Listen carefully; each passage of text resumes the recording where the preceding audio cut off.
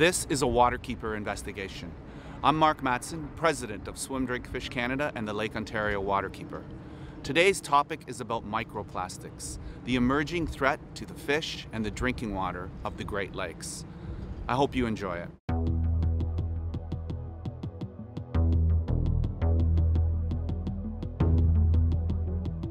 Plastic is a huge problem.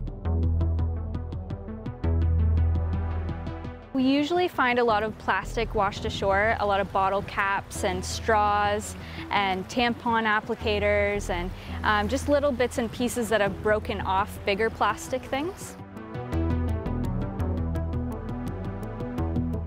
When we started out studying plastics in the Great Lakes, we were mainly focusing on larger items, which is what most people see.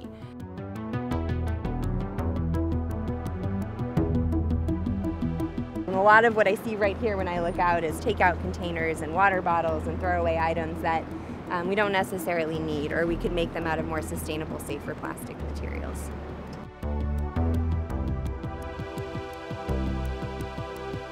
So when we look in water in the lakes, but also in sediment, we find plastics of just about every type that we use. Uh, we find that they're more abundant in waters that are near urban areas.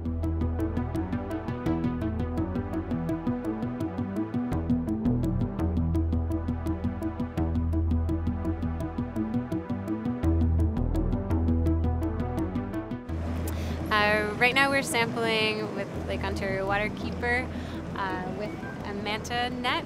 This is a trawl uh, that will filter out any plastics that are larger than 330 microns, capture any floating pieces of plastic that are in the surface water. Got some goodies. This is to be gross. Once there are microplastics in the water, it never really disappears.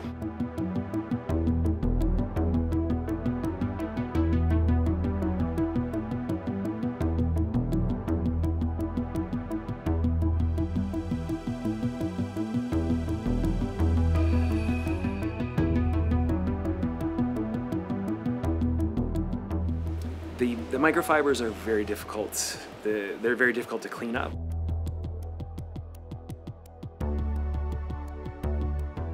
This company does recognize that the, that fleece, I mean, which is our core product, I mean, we've been making it for years, we do recognize at this point that it is, it is very harmful to the environment.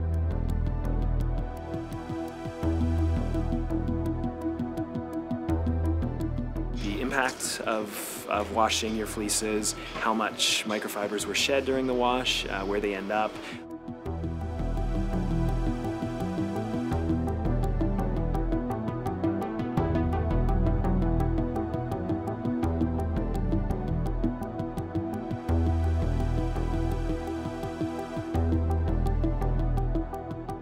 Going forward, uh, there's a lot more research to be done. Uh, this is just the just the tip of it. There's many many problems with uh, with the garment industry in terms of in terms of pollution. I mean, it's it's a pretty dirty business. It, it comes down to us uh, trying to find a solution, trying to move forward with it, and really leading by example.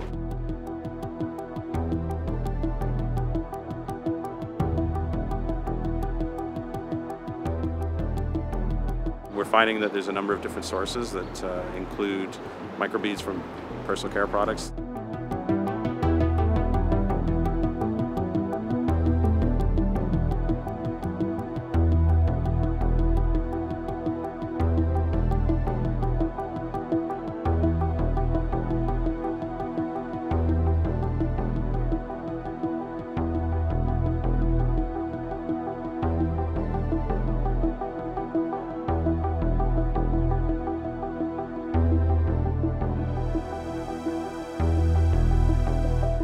Obviously, fragments are broken down particles from larger plastic products.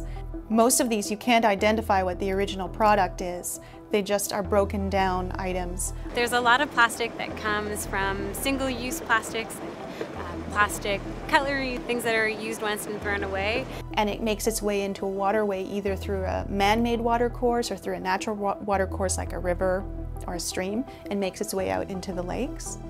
And once it's exposed to UV radiation, then that's what actually breaks it down, makes it very fragile. And then once it lands along the shorelines, it can move with wind or water and it becomes abraded and it tends to break down into even smaller pieces.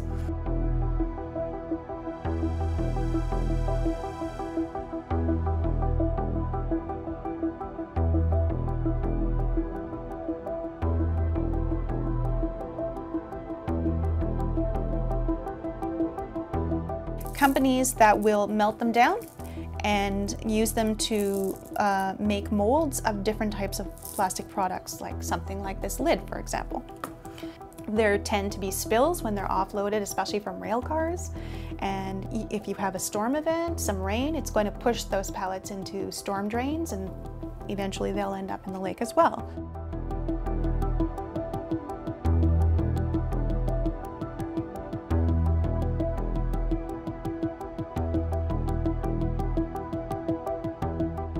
Okay, there are some pieces of styrofoam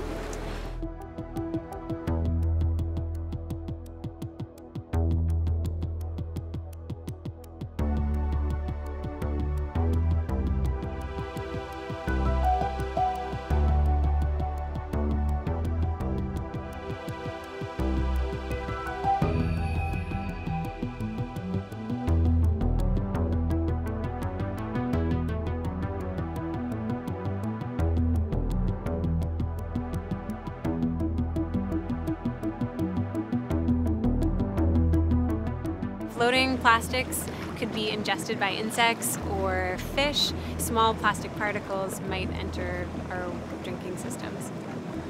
So myself, my expertise is in ecotoxicology. So I, I study, I care more, I don't care more about, I do, I care more about the wildlife. So I've asked more questions in terms of how is it impacting wild populations and nature. But what governments and policymakers really want to know is how does it impact humans? Plastics, uh, persistent organic pollutants can adsorb to the surfaces of plastics and if a fish, for example, eats a pellet that has persistent organic pollutants on it, there's the chance that the, those pollutants will travel up the food chain.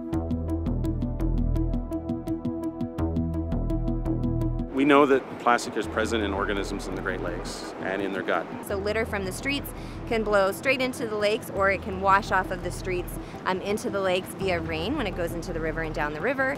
Plastic could have the potential of ending up in our drinking water and could have negative impacts on human health. A lot of what gets flushed down the toilet can end up in the lake. Wastewater treatment plants are another source. We wash our clothing. Some of those fibers come off in the washing machine. They go off, they go out with the water in the back. They go to the wastewater treatment system. Some of them end up in the lake.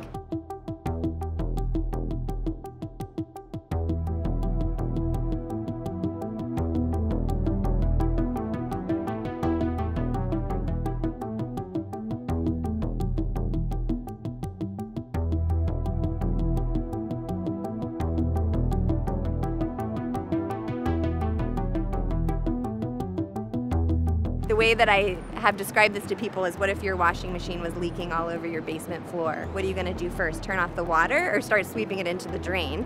You're going to turn off the water first and you're going to start sweeping it in the drain. So we need both. We need cleanup and we need, we need uh, source reduction at the same time. Of course, picking up trash is everybody, and there are a lot of people who feel strongly about doing that, and that's always helpful.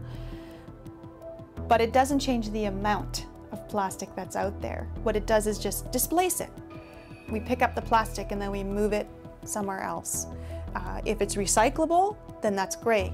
Then it can be remade into something else. But most of plastics that are created are not recyclable, unfortunately. You want to come to a, a, a lake that's covered in plastic and plastic floating beside you all the time and sitting on the patio, or do you want it to be clean water? Just don't go to the grocery store without your cloth bags. It's as simple as that. Don't buy plastic water bottles. There's no point in doing that.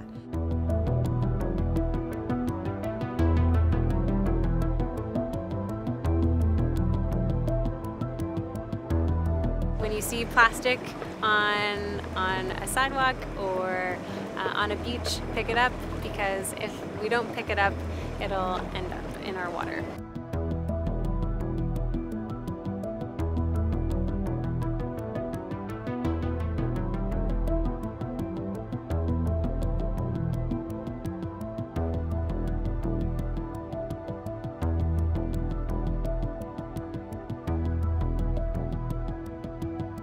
Thanks for watching this important film. If you want to learn more about the topic or more about Waterkeeper, go to waterkeeper.ca. Thank you again and hope to see you out on the water.